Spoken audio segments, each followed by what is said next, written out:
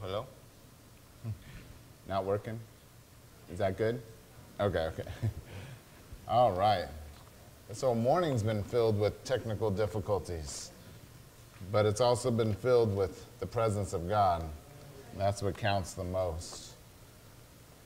So, God's a good God, and we're going to continue on with what He wants to do.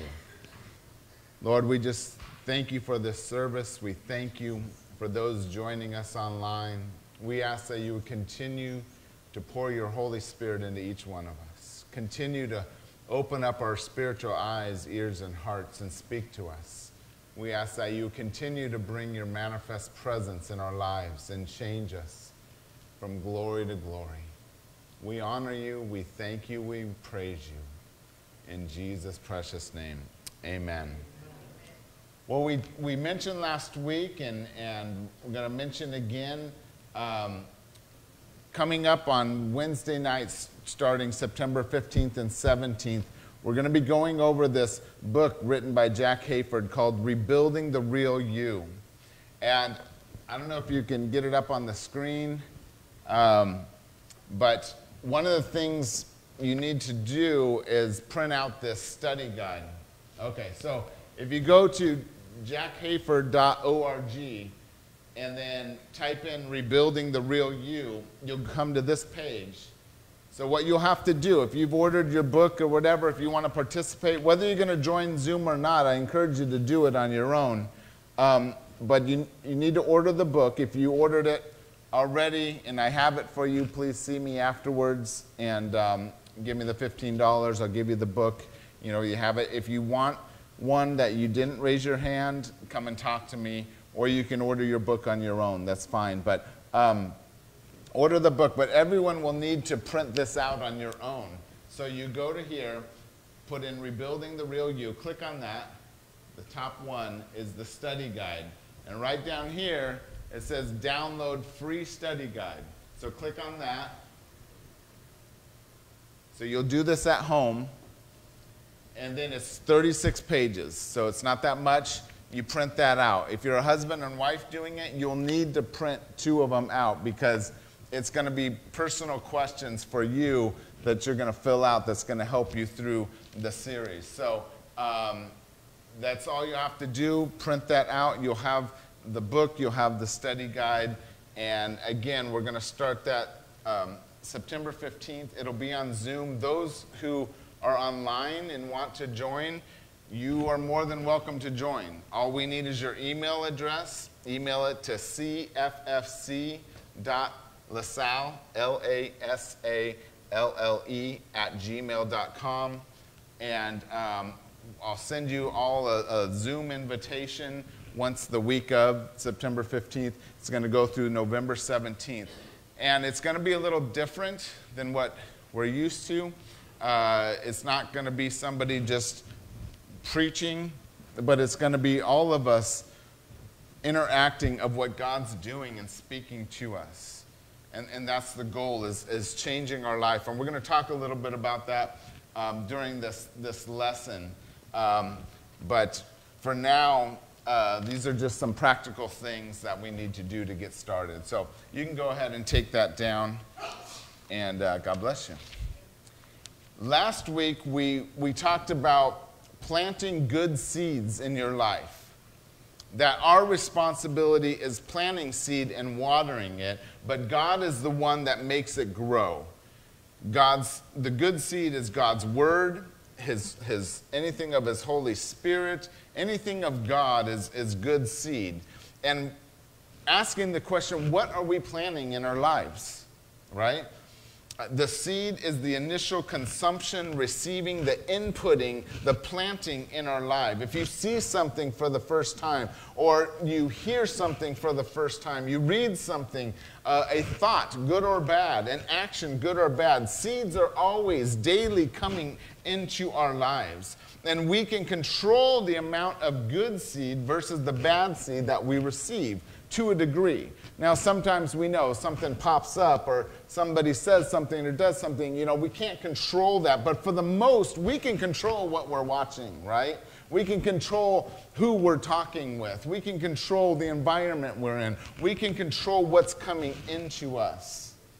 Now, the seed will die without proper sunlight and water, and we want the bad seed in our life to die, but we want the good seed to grow. So we need to stop watering the bad seeds in our life, right? Sometimes we're like doing the same thing over and over, and we're like, why does this keep happening? Well, what are we watering? We need to revisit that in our lives.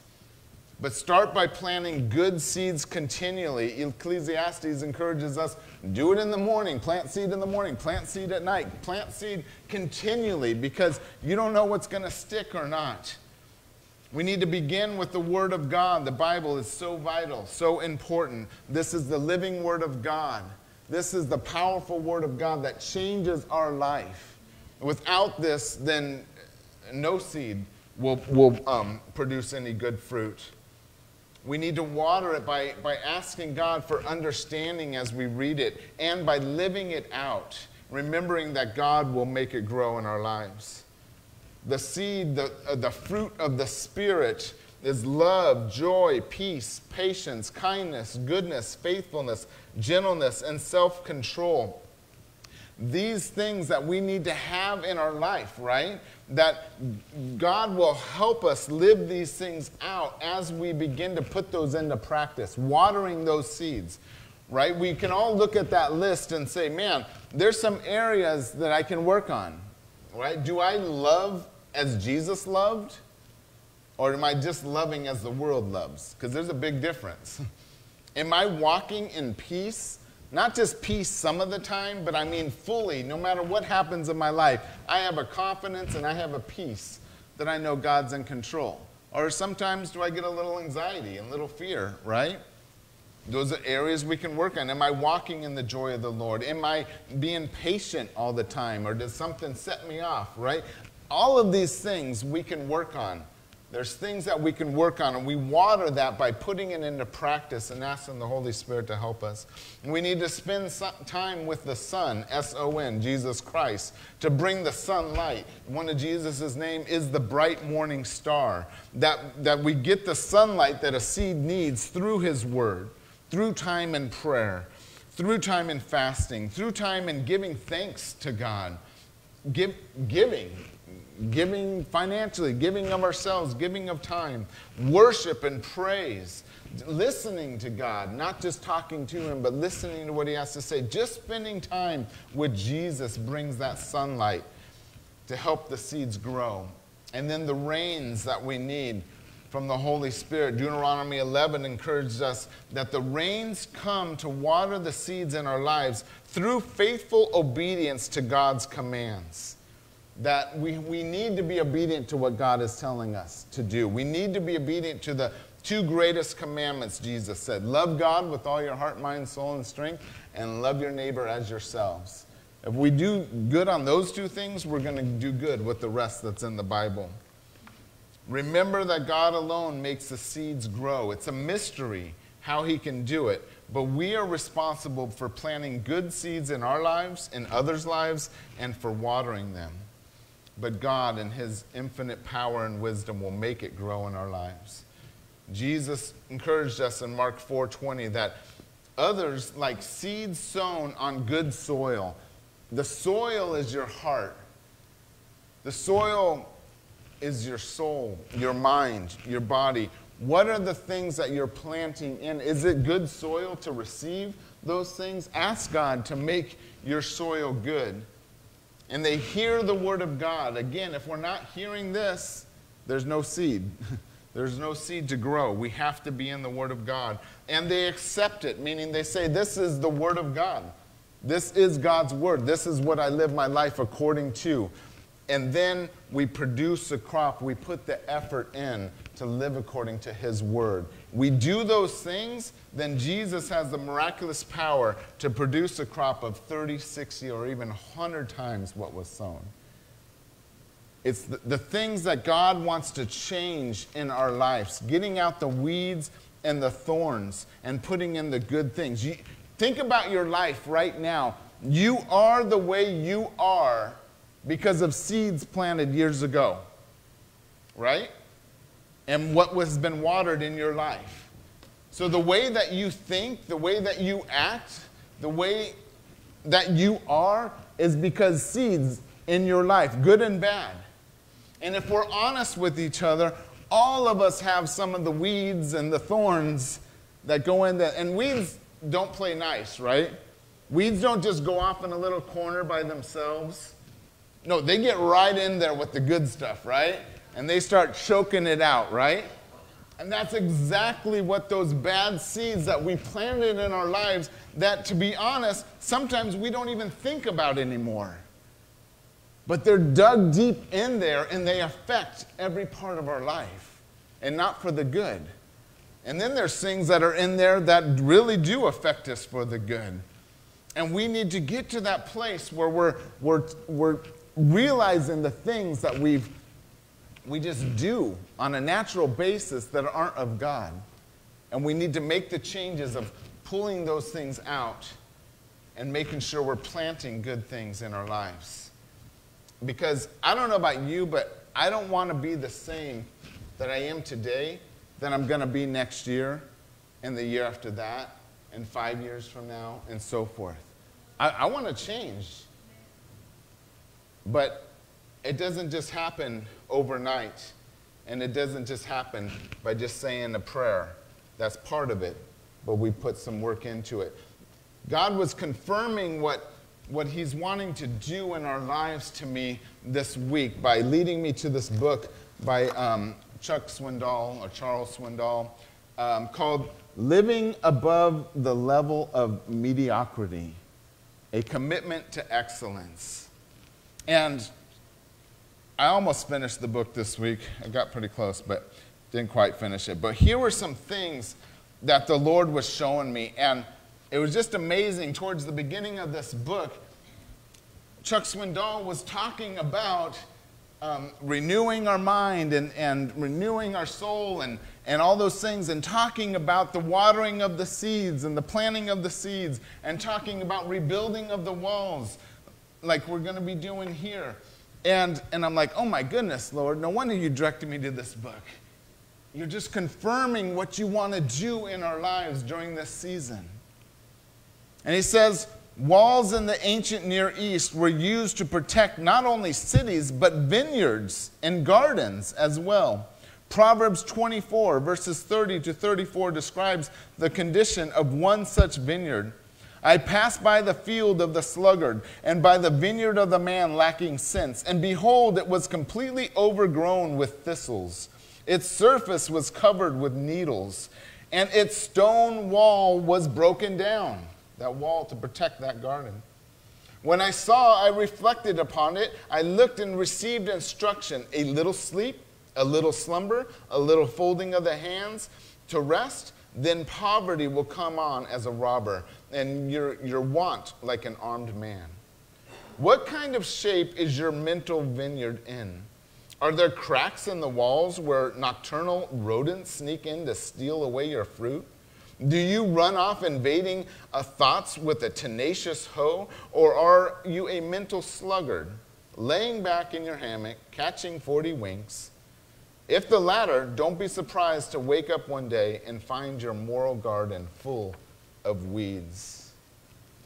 Let's be honest, the, the things that we have planted in our lives, whether from us or from other people, but that we've allowed to stay there that alter the way we think and the way we talk, the way we act, the way we handle situations, all those kind of things that make up who we are. We, as, as, as good gardeners of the, our souls, we need to get down and dirty and start pulling out those weeds, right? All the bad stuff. Well, that's just the way I am. Let's be honest, when, the more older we get, the less we want to change. It, am I the only one? or is that truth? We don't want to change, but could you imagine Moses saying to God, God, you know, you used me powerfully to help deliver the people from, from Egypt and all these things and stuff like that. I, I'm, I'm older now. I, I, I need to retire. I was talking to someone this week. Uh, uh, uh, somebody had mentioned to me retirement, the word retirement is not in the Bible. it doesn't mean that you, you don't have to retire from work. Understand that. But we don't retire from God's kingdom and the work of God for his kingdom. Remember the Apostle Paul? He's like, man, there was one point, it was like he was debating. He's like, man, I've, I've, I've lived a long life, I've done so much for God. He's like, I'm kind of at that place where I'm like, it's better for me to go home and be with God. He's like, but you know what? It's better for you if I stay and keep ministering. Even at an old age, even when I'm tired and weak and I've been beaten and I'm broken and everything like that, I'm going to keep being ministered um, to you through God. We need to remember that God is not done with us. Until you're six feet under, God is still working on you. The Bible says you go from glory to glory. We have to get out of the mindset that we, we're going to live in mediocrity. We have to get out of the mindset that we're fine with the status quo. We have to get out of the, the American church that says it's good enough just to come on a Sunday and Wednesday night. It's good enough just to throw in 10% of my offering. It's good enough to go through the motions of a Christian when God is calling us deeper into Him. God is saying, I have more for you, child. If you just come to me, I have more to pour out. I have more to deliver you from. I have more truth to pour into you. You can't, you don't even even understand a, a fraction of this Word of God. I have more to reveal to you. I got more for your life. But we, as a, as a natural garden, like we said last week, we don't just go pray over our garden and expect things to just happen. We pray over our garden of our life, but we have to get down and dirty. We have to put the work in. God is calling us to not be spoon fed anymore. It's easy to show up to church and have the pastor preach at us. It's much harder to get alone with God and do the work that He's called us to do. In fact, in Hebrews chapter 5, he says, Anyone who lives on milk, being still an infant, is not acquainted with the teaching about righteousness. But solid food is for the mature who by constant use have trained themselves to distinguish good from evil. We can't live on milk and being spoon fed. We have to put the work into constant use. And that's what the season God is calling us as a church and as individuals and saying, There's stuff I want to do in you, but you got to put work into it. I'll do my part. But you got to do your part. We can't just show up to church and ask for God to do it. That's part of it. But then we got to do the work. And God is giving us tools. Charles Swindoll and Jack Hayford are two men that are way smarter than I am and are used by God in powerful ways. And God has given them wisdom to help us rebuild that garden and the vineyards inside of us and to rebuild the wall to protect it.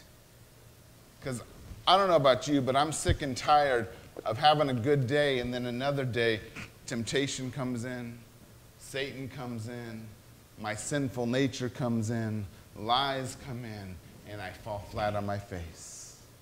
I'm tired of it. I want to live above that. I want to live in freedom. I want to live in truth, the truth of God's word, not my own truth. I want to live in victory and in hope and in joy and in peace. I want to live in love. I want to, I want to see you as Christ sees you. And I want to pour into you the good seeds of Him.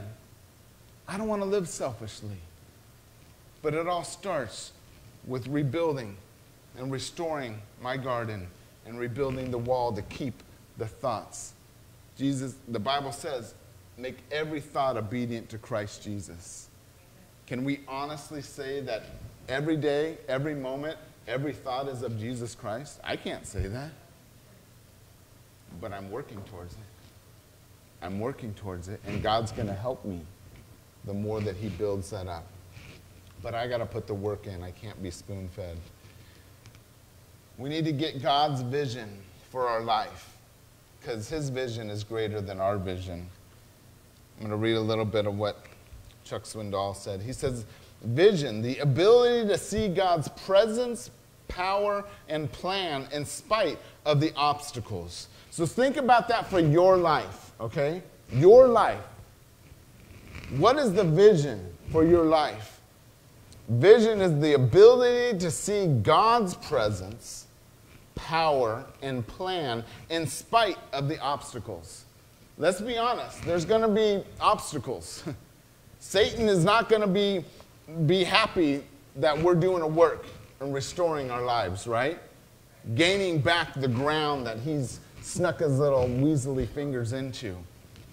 You know, in the book of Nehemiah, that this book talks about, you know, um, there was opposition, constant opposition to the rebuilding of the wall. But they pressed through, they kept going, and they kept their eyes on the Lord, and God got them the victory. He gives an example of vision. An American visiting in France came upon a scene where a large church was being erected. He approached three stone workers, one after the other. Of each, he asked this question What are you doing? The first said, I'm cutting stone. The second said, I'm cutting stone for seven francs a day. And the third responded, I'm helping to build a great cathedral. Can you see cathedrals and the challenges God has set before you, or just a lot of rough stones? Faith sees the cathedrals, sight sees the stones. Whatever God is working in you, it's like we have those three responses, right? It's either we're, we're just getting up every day going, man, just another day. I just got to get through this day and whatever's in front of me. And, you know, in the back of our, our minds, we're just thinking it's useless, right? It's just, just tedious work, tedious over and over, doing the same thing. And then there's the second one who's a little bit better, saying, Yeah, I'm doing this work, but at least I'm getting paid. At least I'm getting something out of it. Having the mindset like, Yeah, I'm doing stuff, but I'm getting a little reward out of this.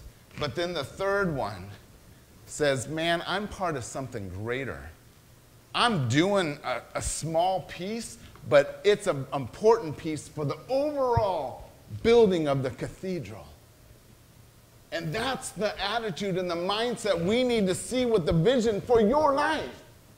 Whatever God puts in you, it may seem small and insignificant to you, but it's not to God. Because if it's not done, the whole thing is not done.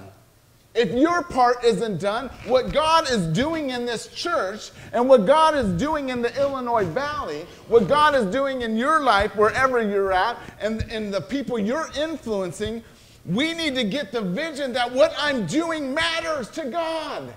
What I'm doing has value and importance. And we need to realize and take the step back and say, every day what I'm doing is for a greater good. And we get that vision inside of us and we say, man, this is going to be an amazing day because God's doing a work in me.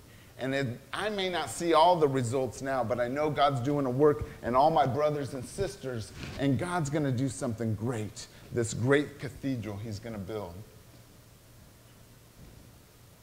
We need to take time to dream, God given dreams. He goes on to share. He says, Most of us don't dream enough. We just don't take the time. What if someone were to ask you, What are your dreams for this year? What are your hopes? Your agenda items? What are you trusting God for? Can you give a specific answer? Before responding, remember to look beyond your personal goals and objectives and think about your God given dreams. It's okay to dream, right? It, it, if we are just stuck in, in a stone in front of us, just doing our, our daily routine without having a dream and a vision, it does become boring and monotonous. Our lives become blah, right? But if we realize, you know what? There's something bigger that God's doing and we begin to pray and say, God, give me your dreams. And begin to talk to the Lord and saying, God, these are the things I want to see. We're in uh, end of August, right? End of August. Think about this year through December, right? If, if you're going to do this on your own or, or join the Zoom, think about what you want to see God do in your life.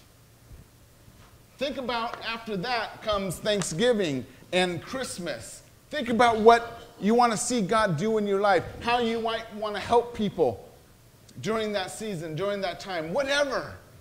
But be, be dreaming, dreaming about what God wants for you. Then you have hope. Then you have encouragement. Then you have something to look forward to. Then your life doesn't just wake up and it's like, oh, cutting stone again, doing my normal things. But it's no, this day has a purpose because it's getting me somewhere at the end and it's getting all of us somewhere at the end. But we need to be careful we dream God's dreams. A surrendered will will not lead to heartache talking about God's kingdom, it says it asks for a surrendered will, an acknowledgement of God's authority over every area of our lives.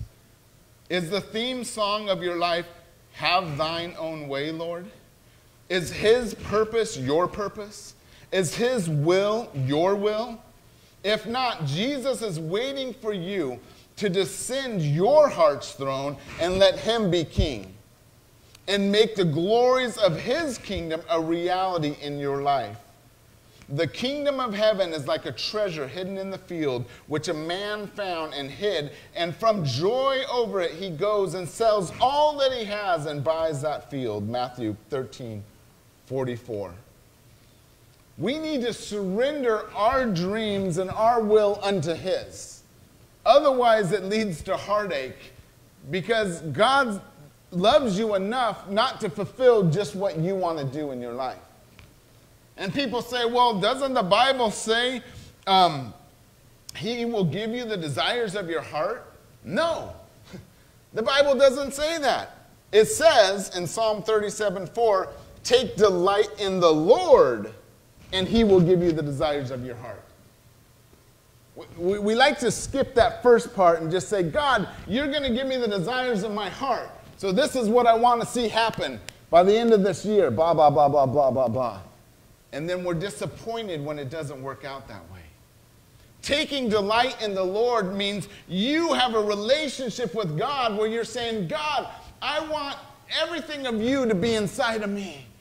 I want everything that you want inside of me. I want to be transformed by you. I want to be renewed by you. I want to know your word and the truth of it. I want to walk as Jesus walked. I want to be filled with your spirit. I want every desire of me to be your desires. And as we take that delight in walking daily with God, getting his heart, getting his mind, because we're spending time with him, then yes, he's going to fulfill every single one of your desires because they're going to be conformed to his desires for your life.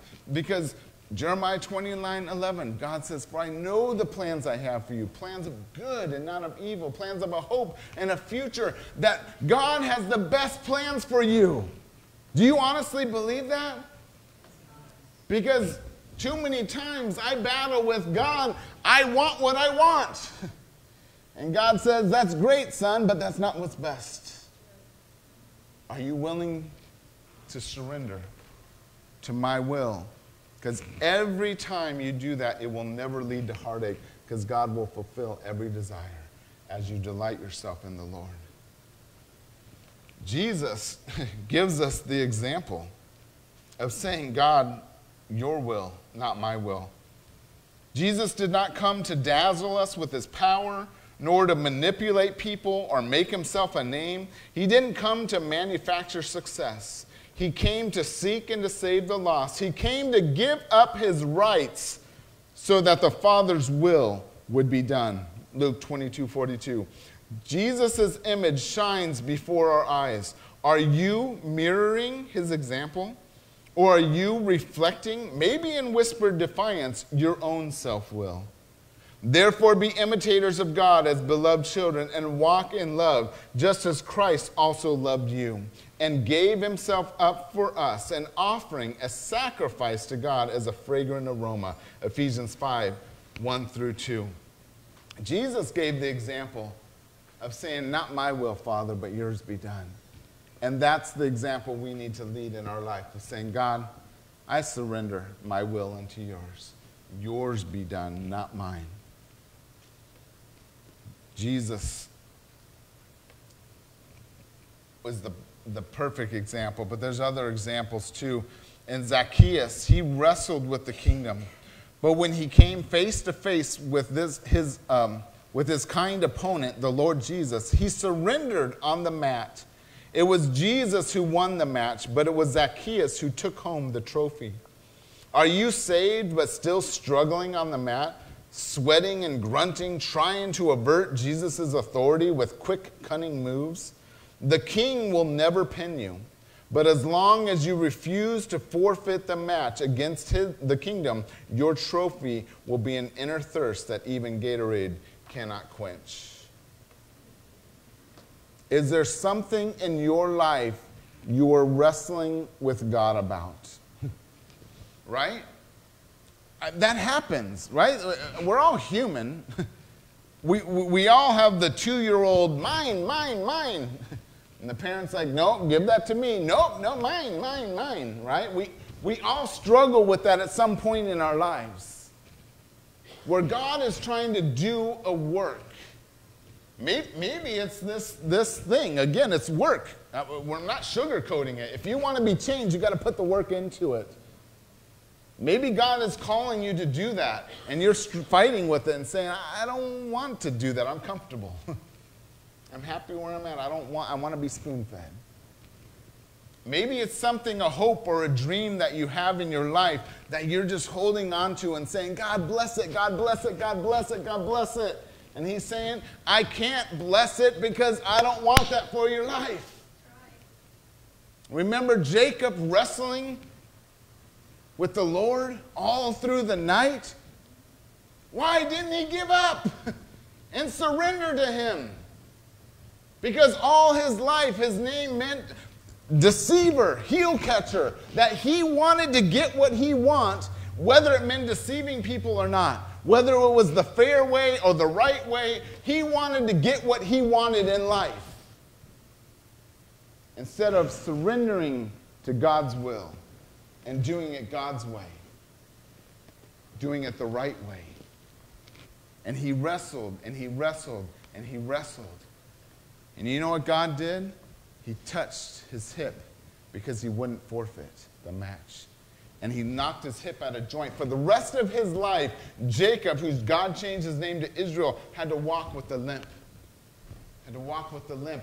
Why do you think God did that? I think it's to remind Jacob that you're not in control. That I am God and I have all power and authority and I have the perfect plan and will for your life. And it wasn't just affecting his life, it was affecting a nation to be born. It was affecting a Savior to be born. There was more than Jacob knew in his life, but he was not willing to let go and surrender. He wrestled and wrestled till finally God said, No, I'm going to do it my way, and you're going to be reminded every day of your life that I'm in control and you're not. And don't think that God, who's the same to yesterday, today, and forever, won't do that in your life because He loves you. If you're not willing to let go your hopes and dreams and what you want, you better believe God will touch something in your life Remember the Apostle Paul? He said, Man, I was getting prideful. God was using me in crazy ways. God was just doing amazing things. I got pride, and God gave a thorn in his flesh. We don't know exactly what that was, but we know that Paul pleaded three times God, take this away from me. And God said, My grace is sufficient for you, for my power is made perfect in weakness. Why did God not take it away? Because it's a reminder to Paul don't have pride. I'm using you because I am God and I chose to use you. You surrender to me. You be obedient to me. You do what I tell you to do. It's not in your power, Paul. It's not in your righteousness, Paul. It's not because you've been a Christian for 40 years, Paul. It's because I'm God and I choose to use you. And we need to humble ourselves and we need to let go of wrestling with God with what we want and say, God, my life is yours. I surrender on the mat. Pin me. Because he won't do it. He's a gentleman. He gives you free will. He will not do it, but he will give you a reminder for the rest of your life. And I don't know about you, but I don't want to go down that path. I don't want to limp the rest of my life because I was unwilling to give up God's will for my will. Let go and surrender, or you'll be frustrated and never satisfied.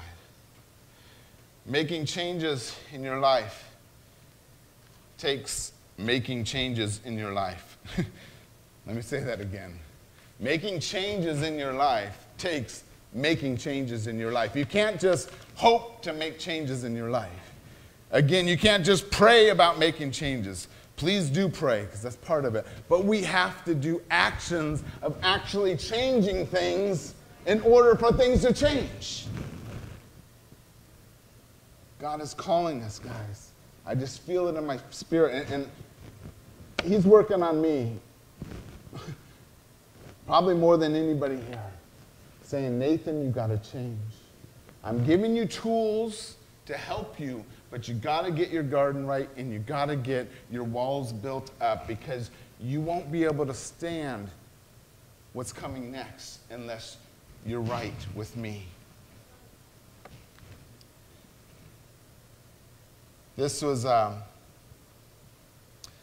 talking about the parable in Luke 5 in verses 37 to 39, it says, And no one puts new wine into old wineskins, otherwise the new wine will burst the skins and it will be spilled out, and the skins will be ruined. But new wine must be put into fresh wineskins. And no one, after drinking the old wine, wishes for new, for he says, The old is good enough. Charles Swindoll says about that. Um, what Jesus spoke about. He says, Two significant applications jump out of the parable and hurdle the centuries. First, our God is a God of freshness and change. Yet he himself doesn't change. Hebrews 13 8. His character is fixed, but his action is fluid, like a river flowing from a rock. The message doesn't change, God doesn't change. But the way he does things changes. And we need to remember not to be stagnant, but the river winds and it flows. And sometimes it creates a new path. He says the second significant fact emerging from Luke 5 is new wineskins are essential, not optional. Every generation has been tempted to restrict God's dealings most people are maintainers, not innovators. That's why traditionalism appeals to the majority.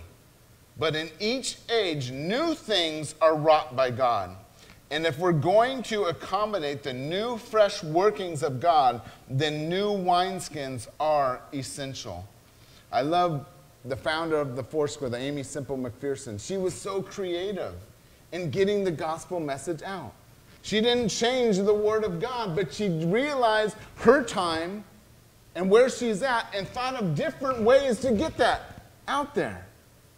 There's times that she would go to have a tent meeting in a, in a new area. She's like, How am I going to get people to fill the tent? She's like, She stand on the street corner and just like pose. and people would stop. And they're like, What in the world? Is, what is this woman doing? And she'd just stay there until enough people gathered, and then she would stop and say, okay, let's go into this tent. And they'd be like, okay. And they just, like sheep, followed her in there. She would have services at a drive in theater because she said some people won't go into church for whatever reason. but they still need to hear the gospel. So I'm going to do something creative to give the message correctly, but do it in a new venue, right? She created a, a, um, a Bible school to help train ministers, but she created a, a radio station. Because again, she's like, some people, I can't get into my church, but if I can get the message through the radio waves, the seed's being planted. We need to get out of the box of, of the four walls of this church and think, what are ways we can reach? Be praying that God gives you wisdom. What are ways you could reach your neighborhoods? What are ways you could reach this area for Jesus Christ? It says, Is your wine still fresh? Or are you living on experiences from a generation ago? Are you tapping into new, bubbling, sparkling wine? Or has your faith grown flat and tasteless, lost its effervescence? And how about the wineskin? Are you still flexible? Or have traditionalism given your life a rigid, brittle texture? How open are you to change? How willing are you to risk? How quickly will you strike out in response to a new direction from God? We can't get comfortable in what God has done in the past. He is doing a new thing. The message doesn't change, but the venues might. If God's putting on your heart, I remember we had uh, what was called like back in, in um, decades ago, tell around at our church. And back then, kids would be all out in the parks playing, right? And we would go around and pass out flyers in the neighborhood and invite kids and all that stuff, and they would come in and, and they would put on a, a play, you know, with these elaborate costumes, Teledog and Telephant, and these flowers. My mom was a flower, and my, my dad was a, um, I don't know, uh, like a kid in the play, whatever, all this stuff. And they would do these, these things to attract the kids, and the kids would eat it up. And they would learn about Jesus. And then we would have um, prayer time and prayer circles, and, and the parents would lead the kids to Jesus Christ, thinking outside of the box, right? Those kids weren't going to be in church. Their parents didn't go to church, but if we could get the gospel to them, be praying God, is there ways you can use me that is different? I'm hoping those online, you join us. Don't worry that you don't know anybody here. Join us on Zoom. Join us with this. We want to get to know you. It's going to be different what we're doing too, because again, we're not going to have someone preach and spoon feed us. We're going to be doing the work ourselves. We have to do the questions of the study guide. We got to read the chapters. We got to say, Holy Spirit, show me beyond just the words I'm reading, but show me in my life what you're doing. Show me the walls that need to be built up. We put that work in, and as we discuss together, I might learn something from you, and you might learn something from me. We be encouraged by one another. And we see that God, I, I'm, I'm an introvert. Is there any introverts out there? I'm an introvert, and sometimes I can't even express what's going on inside of me. It's hard for me.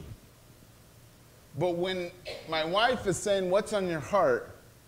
And I begin to open up and start talking, things start coming out that I didn't even realize. And truth starts coming in, and healing starts coming, and she's able to, to give feedback and encouragement. And, and if we don't have that opportunity to do that with one another as brothers and sisters and encourage and build one another and help one another, then what are we here for? Just a social, just to say hi and gather? Are we here to, to iron, sharp, iron sharpens iron and build one another up, encourage one another, strengthen one another, pray for one another? We're all at different places. We're all going through different things. Nobody is worse than the other, nobody's better than the other. We're all in this together. And God is allowing us to grow as a people of God, as a family of God, to say, I want to build those gardens up.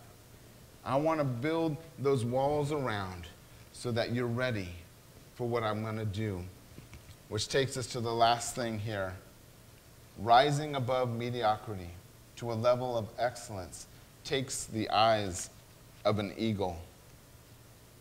Chuck Swindoll writes At any given time, we are choosing to focus on one of four things our circumstances, others, ourselves, or the Lord.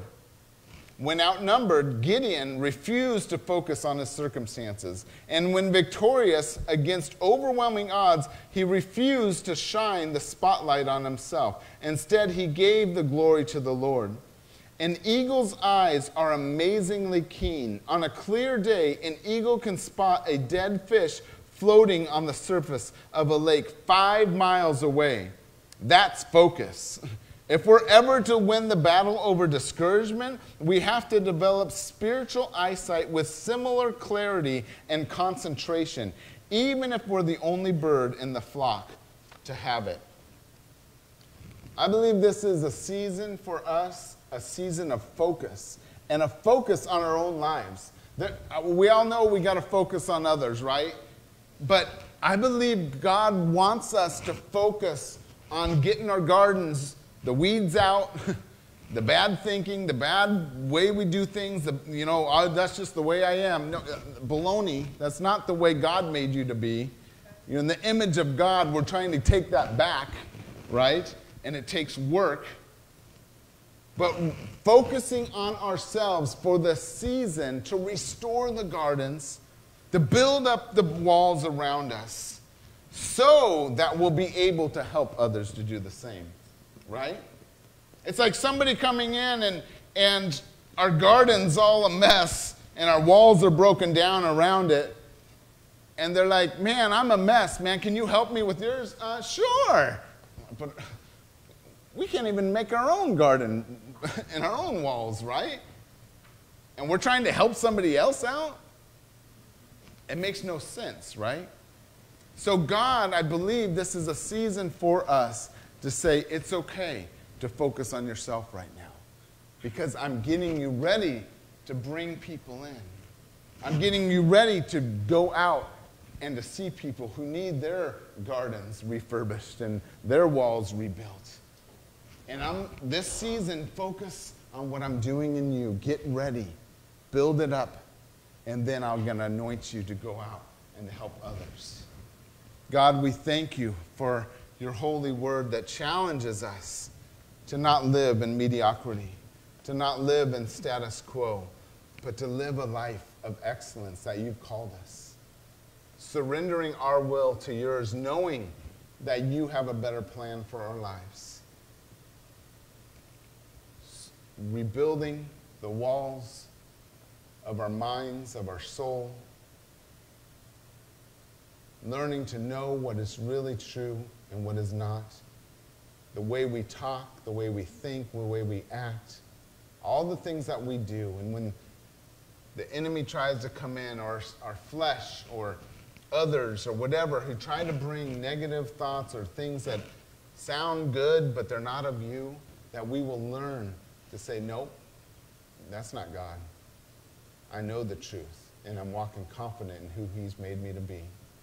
Christ is enthroned in my heart and my garden is in bloom. The weeds are gone, and my wall is built up. God, only you can do that in our lives, and we ask that you would. But you are calling us to focus and to do the work. So, God, we say yes, we will do that. In Jesus' precious name, amen. Be blessed and have an amazing Sunday.